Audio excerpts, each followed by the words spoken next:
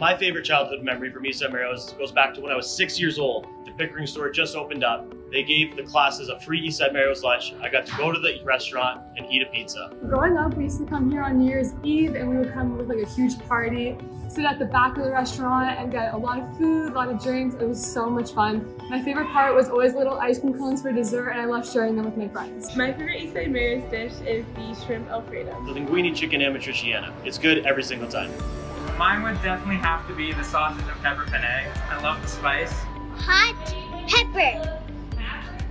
My favorite meal is Hell's Kitchen chicken with Mario's potatoes. It's great working with uh, great teammates. I really enjoy working for East Side Mario's. I started in high school as a dishwasher when my mom forced me to get a job. Ten years later, I'm the general manager of two stores and still love coming to work every day. Working with these Mario's is very rewarding to me. I love to see the smiles and the happiness we bring to our guests, and it's like a second home. East Side Mario's for me is wonderful. It's like a giant family. We all get along, everyone makes everyone laugh, we help each other.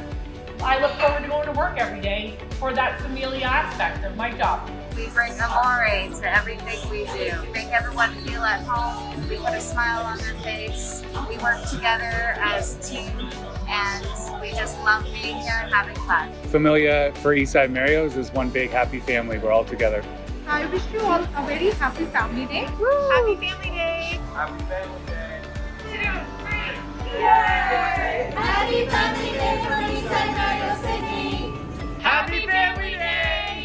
Happy Family Day!